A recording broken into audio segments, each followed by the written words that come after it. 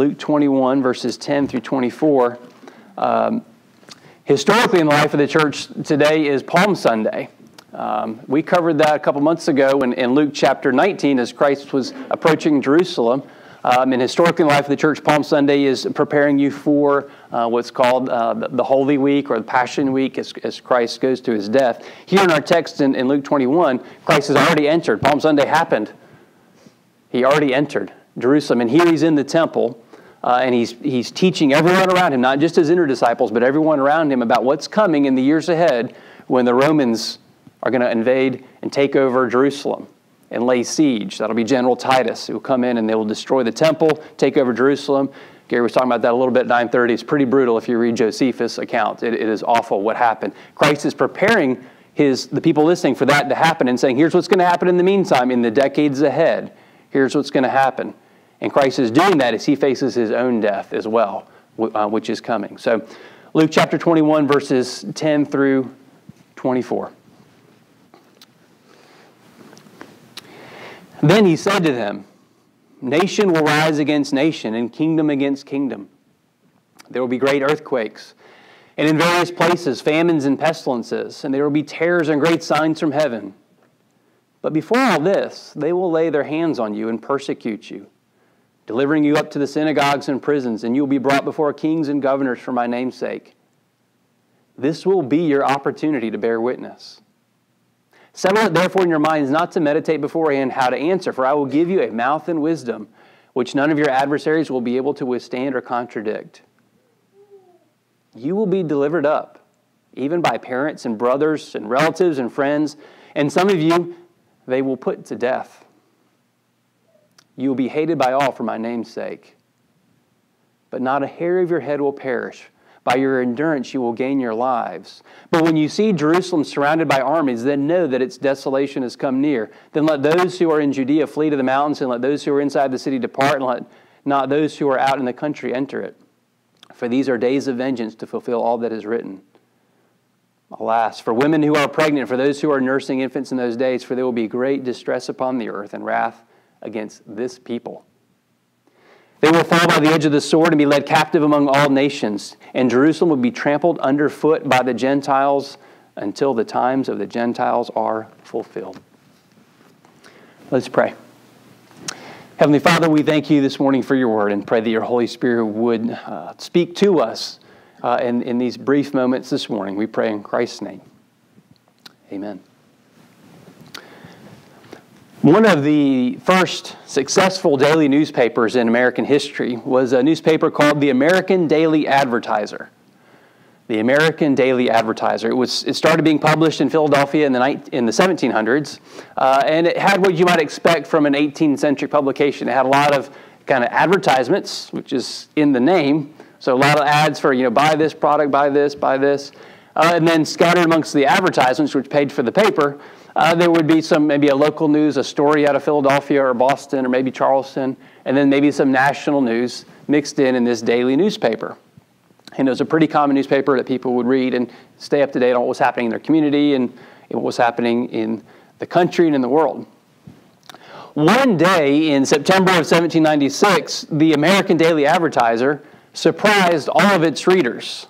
It shocked all of its readers of this daily newspaper because readers got their newspaper on that day in September 1796, and the front page had your advertisements, maybe for uh, you know to buy milk or buy you know dairy products here or buy your your wood to build your chairs, or your tables. I had that, and so you look through the ads, and then when you flipped over to the second page of the American Daily Advertiser, it, it said this on page two. Some important words in the history of America. It said this on page two. To the people of the United States, friends and fellow citizens. What followed after that greeting was the farewell letter from our first president, George Washington. It was the farewell letter to everyone because after 45 years of public service, he was going to be stepping down. He was not going to seek a third term as a president. And so, after all of his years leading the colonies during the, the American Revolution and then being our first president, he was saying, I'm stepping aside from public life. I'm retiring. I'm done. And that was the, the, the, context of what he was writing. He would no longer be serving the public. And some of you, you might have read this document or heard some of it. It's, it's interesting. I won't read all of it because it's a longer document. Um, and we might, we might fall asleep here and we have to be out by noon. Uh, but it, it's an interesting document. He, he gives, President Washington, as he's going to leave office, he gives a couple things. He gives some warm wishes and some appreciation for everyone. Then he also gives some warnings about what's coming down the road, what they should prepare for. And so I'll just read a, a, short quote from it. He says this He desires that our union and brotherly affection may be perpetual. He says that the free Constitution, which is the work of your hands, may be sacredly maintained. That its administration in every department may be stamped with wisdom and virtue that the happiness of the people of these states under the auspices of liberty may be made complete by so careful a preservation and so prudent a use of this blessing, the Constitution, as will acquire to them the glory of recommending it to the applause, the affection, and adoption of every nation which is a stranger to it. It's remarkable. Then he adds this. Later on, he says, The name of American, which belongs to you in your national capacity, must always exalt the just pride of patriotism. He's trying to encourage what we'd call patriotism, nationalism, loving your nation, loving your country, working for its flourishing. And then he goes on to write about the, the problems he sees coming down the road. And, and there are really two problems. He, he worries about being entangled in things abroad, wars overseas. And then he worries about, or warns about, rather, the internal dangers here in the States. And he reminds, it's interesting, he reminds the northern states of their reliance on southern markets and southern ports, which would be you know, Charleston, Savannah, primarily. And then he reminds the southern states of our reliance on a lot of the northern ships and their production. So he says north and south, you, which is very, he, he saw a lot, it seems like, of what was happening in the country. North, you need to rely on the south, south, you need to rely on the north. You guys need to try to get along here, work together. And so, if you read the speech, it's his farewell address to the nation as he leaves public office and he gives some warnings about things that are ahead. As we look at Luke 21, Luke 21 is essentially Jesus Christ's farewell address to the public. After years of teaching and healing and preaching, announcing the kingdom of God, doing unbelievable miracles, healing sick people, raising people, multiple people from the dead, Christ is saying, I'm, I'm, I'm leaving public service, essentially. My public ministry is coming to a close. So this is his farewell address. And he's giving it to everyone that's listening around the temple. And here he's going to give some warnings. The last part of our reading from Luke was those warnings. He says, when it comes, when the Romans come in, essentially, don't come into Jerusalem, flee, because you will die in the city. So he gives some warnings, but he also gives some promises that we're going to look at. We're going to look at three specific promises from this portion of what is really Jesus Christ's farewell address to the public as he concludes his ministry. The, fir- the first promise here, I'm just going to be direct with you. The first promise here is a hard one to hear in the West. The first promise we're going to look at is a difficult one to hear. Jesus promises the people listening to him that are going to follow him, the, you know, Peter and James and John and others who we don't know their names. He promises them first, you're going to face persecution. Christ doesn't suggest that it might happen. Christ doesn't suggest that it's very likely that it could happen. Christ promises you will face this. And note the three sources of the persecution that Christ warns about that's coming in the, in the decades ahead. The first source is this verses 12 through 15. It's, it's from the government. Verse 12 They will lay hands on you. It's assume you don't want them to lay hands on you. They're going to lay hands on you. They will persecute you. They will deliver you up to synagogues and prisons. You will be brought before kings and governors. Christ says that his followers are going to stand before political rulers and face persecution. They're going to face opposition. And if you think about those words, then you think about, you know, Luke wrote this, he's re- recording this. Think about Luke's second volume, the Acts of the Apostles, you see a lot of this is fulfilled. A lot of what Christ says, you see the fulfillment even in the Acts of the Apostles. After Christ appears before Pilate and Herod and then is betrayed and executed on the cross, think about what happens after that in the Acts of the Apostles. Peter and John and, and Stephen appear before the Sanhedrin. Read Acts chapter 4, Acts chapter 6. Stephen gives up his life. James appears before Herod Agrippa in Acts chapter 12. Paul appears before pretty much everyone available uh, Felix, Festus, Agrippa, everybody. Eventually, he ends up in Rome and loses his life. His life is taken from him. And so Christ says persecution is going to come from government officials, and you see that throughout the Acts of the Apostles. The second source of persecution comes in verses 16 and 17. Look at what Luke records for us there. Your second source of persecution comes from your family. Family members will turn on each other parents, brothers, sisters, aunts, uncles, grandparents. Christ is saying, standing firm and following Him is going to lead some of you to face persecution from the people you're related to, the people you spend the holidays with. Christ is saying it's not just corrupt government officials who are going to lay hands on you and persecute you, it's also going to be people who you're related to family members, wives turning on husbands, kids, parents.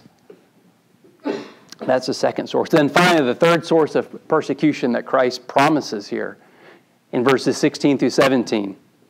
He says, The final source of persecution is from your friends. Persecution from your friends. Persecution from the people you think you can count on when you're going through a difficult time.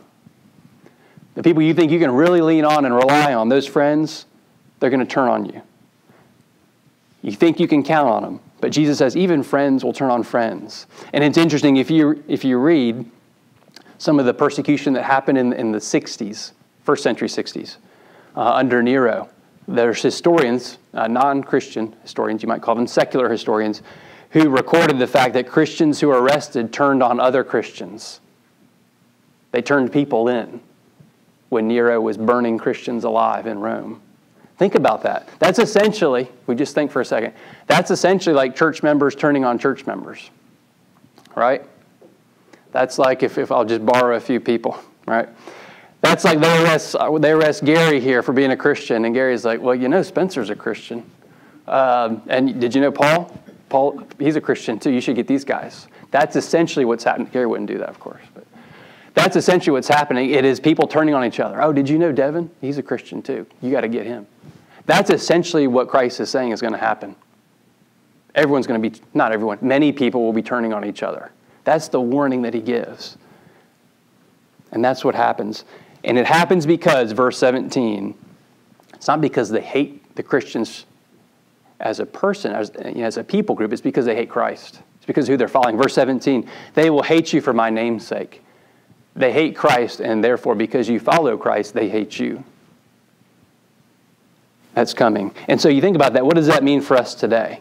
Because th- these words are originally directed towards the first century audience. But what does that mean for us today? Because honestly, we've not faced meaningful persecution here in South Carolina.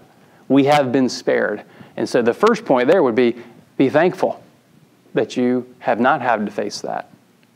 But I think for us, the point of application here is we should not be surprised. We should not be shocked if God allows us to face that. It's not a, it's not a, a punishment. It's something that happens in God's divine plan. He decrees it. It's something that He allows to happen. And so we should not be surprised or shocked if we ever have to face that.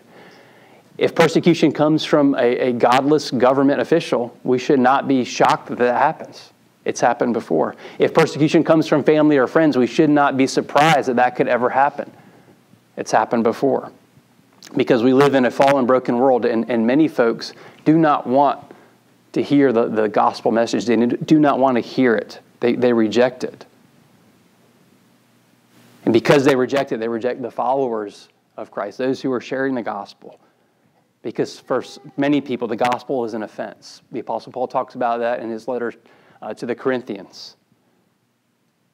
It's foolishness. It's a stumbling block to those who are perishing. They don't want it. And if you're sharing it, they don't want to hear it. So you need to go away. Those who are offended by the gospel will often want to punish or censor Christians who live out the gospel and share the gospel. And we should not be overwhelmed by that. We should not be scared because of that or fearful because of that. Because throughout the history of the Christian church, you read the history of uh, the Christian movement, there have been times of incredible expansion and fruit where the gospel goes out and you see just large scale conversions to Christianity, but there's also been times of persecution and opposition where you think, man, there's not a whole lot of gospel going out. That was the context of the Reformation in many ways, leading up to, uh, to people like Zwingli and, and Luther and Calvin and, and Bullinger and others. The record of the early church here is that faithful followers of Jesus Christ were willing to face persecution, willing to face prison, willing to face death because of their faith in Jesus Christ. The history of the first century church is not really like the history of the 21st century church in America. They had challenges to their faith in the first century. We have it fairly easy. We have conferences and books about how God can make you healthy, wealthy, and wise and take care of all your problems, large mega churches that celebrate essentially you. Um, and, and, I don't want to go on a rabbit trail on that. That's not the point. But that's we kind of have it easy. We kind of have it nice and soft, and it's very easy for us in the 21st century. But in the first century, it was not that way, and so we should not be surprised if we face that. One first century historian wrote this. He said, "In the first century, Christians as a class of persons were loathed. They were hated by the human race in the first century." We should not be surprised if we ever have to face that. We should not be overwhelmed, and we should be thankful that we haven't really faced meaningful, meaningful persecution. We should not, if we ever have to face that, not be overwhelmed or unprepared for it. If we do face opposition or persecution, we should not run to it and try to be a martyr and make ourselves great, get our name in the paper. But we should also not run from it either. We should not live by fear or cowardice either if we ha- ever have to face that. And we've seen, you know, just in the last two years, as a quick aside, we've seen just some opposition for churches not to meet, uh, starting back in 2020. Uh, we've seen that throughout our, in, in, the, in the world, but also in our country where there was some opposition. I'm thankful that when things happened in 2020, Devin and, and Edward, who were leaders, we talked for a few minutes. It was a brief meeting. I said, What do you guys want to do? I know what I want to do. What do y'all want to do? And we basically said, we're going to keep meeting. And when they closed the building, we went outside and we're going to meet. Um, but we, we did see some of that throughout our country, and we saw great examples in Canada, and specifically in, in churches in, in, California and some in New York, where faithful pastors and even faithful rabbis who were shut down said, We're still going to meet. Because we do have a First Amendment, and because we do know that we have to obey the Lord, and we can't obey um, an, an edict from a, a, mayor or from a governor that has no scientific backing and goes against God's word. We can't do that. And so we've seen faithful pastors in, in California, New York, some in, in Canada as well, who have faced arrest. We haven't faced that. We've been fortunate. I've been fortunate. We should be prepared. That's the point. We should be prepared. Not living in fear, not running to it, not running away from it, but know that throughout the history of the church, the church has faced persecution, and that's okay. That's okay. God's still faithful. So that's the first promise.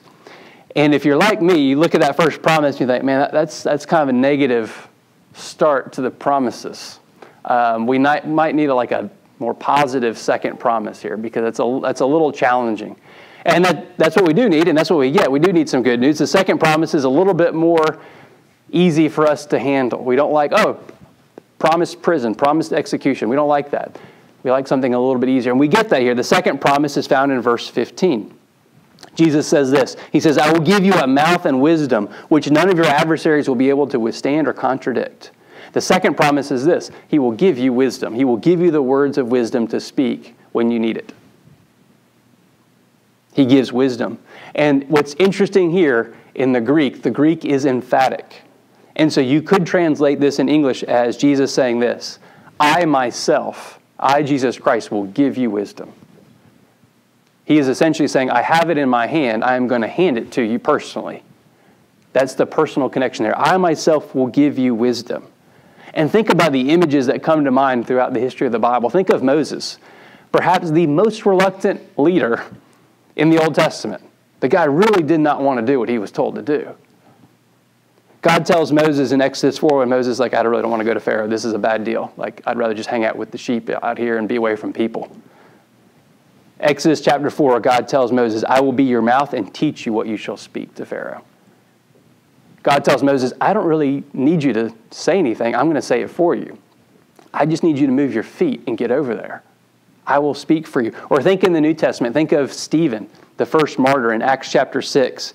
He's facing the Inquisition, He's, and he's ultimately going to die. Many of you have read that story in Acts chapter 6. He's going to die merely for being a follower of Christ. Think of what he says here in Luke chapter, Luke writes about it in Acts chapter 6. As Stephen is speaking to them, Luke records this in Acts 6. They could not withstand the wisdom and the spirit with which he was speaking. They couldn't, they couldn't oppose the wisdom that he had as he faced death. Those are, that's a fulfillment, really, of, of this promise. And so pr- Christ promises you wisdom that will come directly from him through the ministry of the Holy Spirit to you when you need it. In other words, when you face trials or opposition or persecution, which we, we really haven't faced, but when you face that, he says, I will give you wisdom. You don't have to prepare some, some prepared remarks. You don't have to write up a farewell address or have something written up and published. No, he says, don't, don't worry about it. I will speak for you. I will give you wisdom. I will personally give you discernment and understanding and give you wise words to speak. That's, that's an encouraging promise, especially when you think about the culture that we live in, which is a culture in many ways devoid of wisdom. I think we could agree on that. There's not a lot of wisdom in 21st century American culture. Um, you might say, I mean, we have, a, we have some supply chain issues, whether it's food maybe or building materials. We also have a supply chain issue with wisdom. There's a shortage of wisdom in our culture. It's hard to find. It's hard to find. You don't find it on social media, you don't find it on TV, or on your phone, you don't find it in American entertainment. Instead of wisdom, you, you see men slapping men at award ceremonies, right? That's what we have. That's not wisdom, that's foolishness. We have a shortage of wisdom. And many in our culture don't know where to find wisdom. And many in our culture, if they did know where to find it, wouldn't care enough about wisdom to go and get it from the hand of Christ. But here, Christ gives you that second promise I will give you wisdom. I will give you wisdom because He is the wisdom of God. And so, what Christ promises here is He says, I will give you all you need in your hour of need. I will give you all you need in your hour of need. The, the, the, question for us is do we believe that? Do we believe that? We should. I don't know that Christ ever lied. I'm pretty sure he didn't. When he makes promises, he keeps promises. Christ says, I will give you everything you need in your hour of need. So, promise number one is a tough one some persecution, some opposition. Don't be scared. Just be faithful. Promise number two wisdom and understanding directly from the hand of Christ through the ministry of the Holy Spirit to you when you need it. He'll give you everything you need. And now, promise number three. Promise number three. I'm going to tell you this through a story here. It's a story, a true story, about a man named Alexander. Alexander uh, lived in the 1970s in the former Soviet Union. And earlier, as a young man, a few decades earlier, he was uh, in his 20s, he, he converted to Christianity over in the former Soviet Union. He was arrested. He was arrested. He went to prison for his faith because he was a, he was a Christian, an outspoken Christian, and outspoken on the, the need for religious freedom under the communists. And so, as punishment, the Soviet leaders sent him to one of the harshest prisons in the Soviet system. So, Alexander, this Christian who's outspoken about faith in Christ, goes to one of these prisons in the Soviet system. And it's in, he's in like a group cell, it's, a lot of people. He's not a violent guy, he's a Christian. And so they notice that as Alexander's in this large kind of cell with lots of other prisoners, he is sharing the gospel with other people. And it turns out Alexander is an effective missionary in prison, much like the Apostle Paul in the Acts of the Apostles. You lock Paul up, he's just going to talk to the guys next to him. And there's going to be revival in the prison. So they notice that Alexander is sharing the gospel with other people in his group cell, and that's not really part of their plan. They don't want more Christians in prison, they want fewer. And so they remove Alexander from his group cell and they put him in solitary confinement. They put him in lockdown, all by himself. And in that solitary cell, he was looked at by a single prison guard. An older man, an older prison guard, didn't say much. That was this prison guard's one job was just keep an eye on Alexander. He's not violent or anything, but he just needs to be not with other people because he's a missionary in prison. One night, the old prison guard comes into Alexander's cell, opens it up, comes in, and he sits down and begins to talk to the prisoner, Alexander. And let me quote what this old prison guard said in that small, dark prison. This is in the 1970s. I'm going to quote it here. He said this He said, When I was a young prison guard in a different prison, he said they would gather 20 or 30 priests who had been behind bars, and they took them outside. They rigged them up to a sled so that they were pulling the sled, and they had them pull the sled out into the forest. They made them run all day until they brought them to a swamp. And then they put them into two rows, one behind the other. I was one of the guards who stood on the perimeter around the prisoners. One of the KGB guys walked up to the first priest. He asked him very calmly and quietly, Is there a God? The priest said, Yes. They shot him in the forehead in such a way that his brains covered the next priest standing behind him. He calmly loaded his pistol, went to the next priest, and asked, Does God exist? Yes, he exists, the priest said. The KGB man shot this priest in the same way. We didn't even blindfold them. They saw everything that was about to happen to them. The old prison guard finished his story to Alexander in that solitary confinement cell by saying this he said, Not one of those priests denied Christ. Not one of those priests denied Christ. They all knew what was coming. I read that story. I was reading it this past week, and it leaves you almost speechless when you think about what actually happened there. There's not a whole lot to add, but it's from that story that we see really the third promise here in Luke chapter 21. The third promise is the best promise of all. Verse 19 is that promise. Christ says, By your endurance, you will gain your lives. By your endurance, you will gain your lives. Christ offers, He promises, He guarantees eternal life. Faithfully following Him, persevering in the faith, enduring in the faith, leads to eternal life. And so when those, those Russian priests stood side by side facing a pistol directly to their forehead. They were being faithful. They were persevering. They were enduring to the end. And when they lost their lives at the sound of that pistol firing, they gained eternal life. They received that promise of eternal life. They left that dark, dirty communist prison and entered into the light of the presence of the triune God at that moment the beatific vision, life eternal, the presence of the triune God. Christ promises you, if you persevere with Him by the power of the Holy Spirit, He's going to do it for you. Then you gain eternal life. And verse 19 literally reads in the Greek, you will gain your soul. We live in a culture, a lot of people have lost their identity, don't know who they are, lost their soul, to who they are, their being. Christ says, You will gain your soul life forever if you persevere to the end. Jesus says if you faithfully follow him, you gain eternal life. There's not a price you can put on that. You will gain your soul.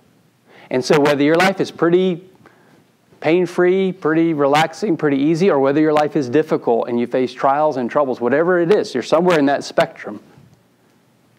Christ says, just endure to the end with Him. We, we sang it a moment ago abide with him. That comes from John chapter 15. I am the vine, you are the branches. Abide in me, remain in me. And the promise is you get eternal life. And you get eternal life not because you've done a good job enduring and because you've earned it, not because you're good enough, not because I can deserve it.